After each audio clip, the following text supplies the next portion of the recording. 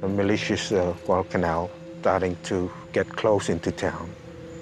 Uh, they were coming around the town boundary and uh, uh, they were saying they were to uh, hit the power station, they were to get the water. And if nothing is happening, then we just clean up on here.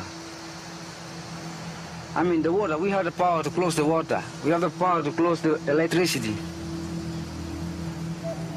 And that's time when we try to chase out these Malaysians. We had our checkpoints. One was at Alligator Creek, and the other was, was down at White River. Yeah, we were just sticking together with the gold, saying, let's defend our people, that they won't intrude into the town.